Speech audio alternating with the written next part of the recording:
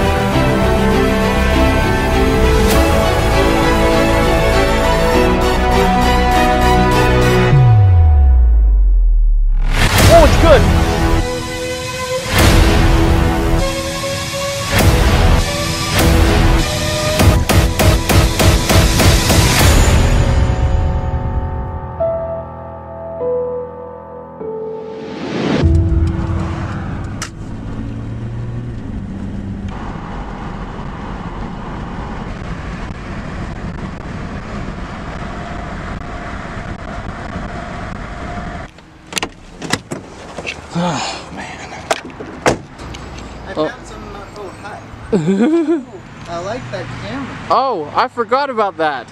Oh no, good thing good thing you found those. Okay, so I guess it's in focus. What's going on guys? I am here with Adam. Oh, and look, it's James too. Guest appearance. Guest appearance. But Adam, why are we at your parents' house? Because Ty needs a place to park his car when we go down to Sand Hollow. And Quail Creek. and Quail- that's right, guys. It is time for the annual Southern Utah Bass Fishing Adventure Year 4. Tradition now. It's a tradition. We're going every year for the rest of our lives until we can't fish anymore. And at that point, we'll die. Exactly. So we're taking all the stuff from my car and we're gonna throw it in Adam's car. And then, what do we have to do after that? We have to run somewhere, don't we? Uh, gas and then sportsman's. That's right. Because we need to get a couple things. Yep.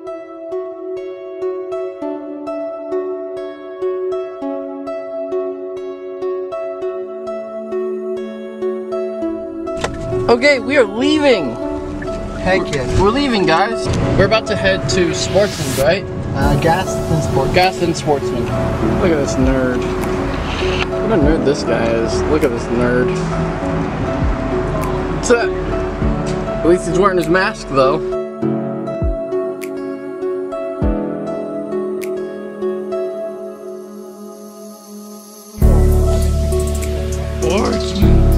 Okay, Adam. What did we get at Sportsman's? Whopper ploppers, drop shot weights, and some hooks. Yep, I got him a Whopper Plopper and I got me a new Whopper A Plopper. 130. We both got 130s. It's incredible. It's gonna be lit because we are officially headed finally to southern Utah mm-hmm. to Quail. We're going to Quail. You guys ready? Are you ready? oh, heck yeah. Am I ready? I sure hope so.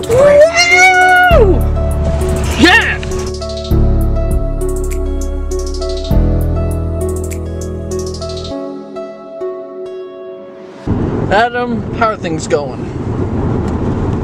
Good. Um, I think I'm in focus, I hope. Anyways, we are at mile marker 73 and our exit is 23, so we are 40, no, 50, 50 miles away from the exit to get to Quail. So we've been driving for almost three hours, so I'd say we got 40. Non-stop, except for we had to stop to fix, we had to fix the wood on the roof because we could hear something flapping. I will pick this up again when we are really close to the lake, so you guys can get a first look view when we pull up. No charcoal, no wood. Propane. St- I literally Look at this. my stove at home. Do you guys see this crap? Because I was like, I don't We're at a fire restriction. firewood. We can't use this. We can't use that. That is firewood up there. We legit can't use anything. But uh, there's the lake. You guys get to see it. But we're a little pissed off because I brought frickin' for dinner is our frickin' wieners. And we can't cook them because the gas stoves, but we don't have one. And it didn't say online. It literally said nothing online. Are you okay with um cold hot dogs? This sucks. This sucks.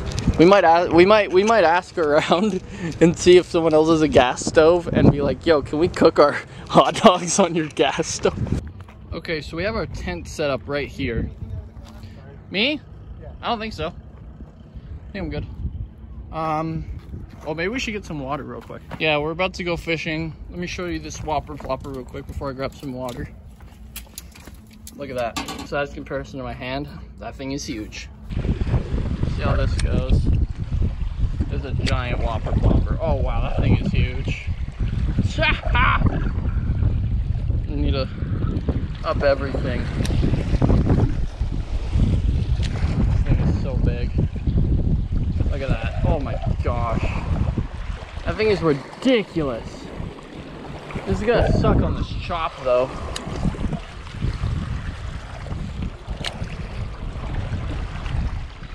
It's just way too windy.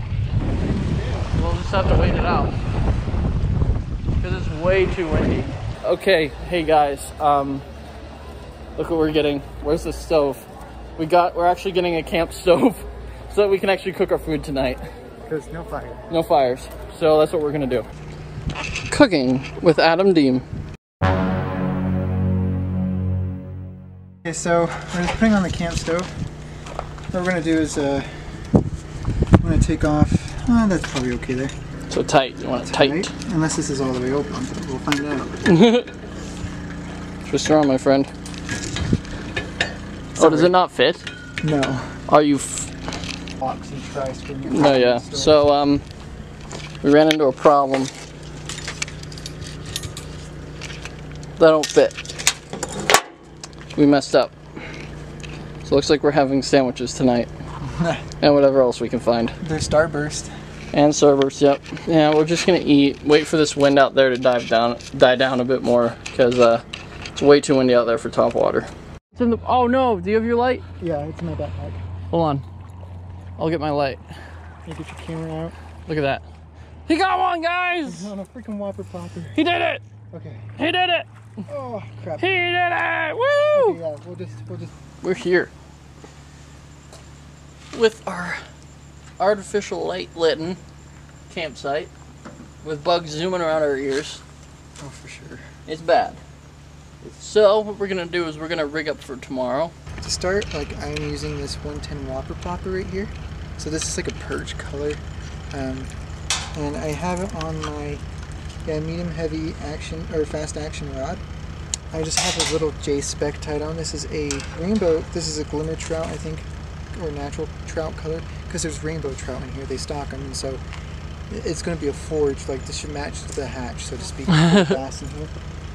And then um, this one, I have a little Ned rig um, set up here. This is just with a blue, like a jitterbug sort of colored um, Senko that I just basically bit into like a third or a fourth. And uh, it's just like, it's a little long, like a short, just barely longer than the hook. Um, but with, it's just going to stand and hop along. So, you know, just I'm trying everything from top water to mid range to like bottom, trying to find where the fish are at. So, So on this brand new rod that I have, it's a, uh Pflueger rod, 6.6 medium action. Um, I have a drop shot tied on. I have it about maybe about 10 inches from the hook. And how, how big were these weights again? like one fourth. one fourth ounce ball weight. Abu Garcia. It's a uh, six foot six medium action. Pretty nice, and I have a deep diving storm ah, storm crankbait right there. It should dive about probably like I'd estimate probably 15 to 20 feet down. So that's pretty good. The crankbait last time I came here to use and used a crankbait last year, killed it. I Caught probably like six fish on a crankbait. On our big old, the rod here is an another Abu Garcia. It's a seven foot six heavy fast, really big, and then the reel is a um, Shimano. Gear ratio I believe is seven to one gear ratio. Yes. And we have on a smaller whopper plopper than what I was using today, like half the size. That's what we're going to be using tomorrow morning, and then changing it up throughout the day. We're going to go to bed, right? Huh? So we can wake up early. Yeah, we're waking up at like 5:30. Let's so, load up the car too. Hmm? Let's load up the car. or With load this? yeah with our fishing gear since we're driving it. Oh wait, are we driving over to the dock tomorrow morning? I guess so. So we're gonna put all our fishing stuff into the car, so that when we wake up in the morning, we can just drive over to where we're gonna be going, and walking over there. Because the best place that we found is over that way, and we don't want to walk all the way there from here. It's That'd suck. And we're gonna hit the hay so we can wake up bright and early and catch some bats for you guys to see. So we'll see you guys early in the morning tomorrow.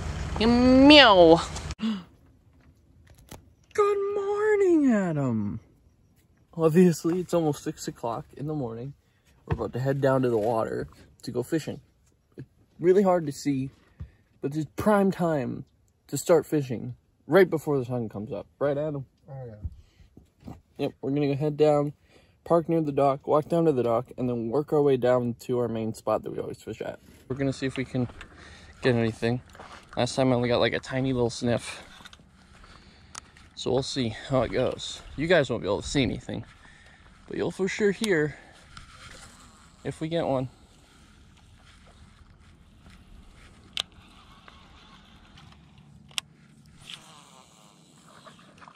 Got him? Get him in, get him in, get him in. Yes! There we go. Okay, it is evident that it is not my year for fishing down here already. I was casting all over the place over here. my second bite, dude. Really ain't slow, dude. Can we go home? Just kidding. I I got you. wasn't recording, guys, but look. That might not even be a bass. Did you let it sit there? I legit was stopping just for a second to do something. What is? It's a bass. Wait, no, it's a green sunfish. No way. You just caught a green sunfish on a whopper plopper, dude. I got a green sunfish, guys, on a whopper plopper. Oh, oh, oh. It would be crazy if you had a picture of that. Oh wait, I. Yeah, you've got. It's fine. That's so crazy. Bye, buddy. Be smarter. Why'd you go under this rock right here, buddy? I'm gonna give Topwater a break and throw out the freaking crankbait. Don't judge me, Adam. Good. I might be judging myself. But last time this thing worked so well. Well, now that you said that, I'm gonna get snagged. Yep. Just so you know. I'm snagged! No! I got it out. I'm the king of getting things unsnagged. You know this. The emperor. The emperor of getting snags out. Huh? Supreme Chancellor.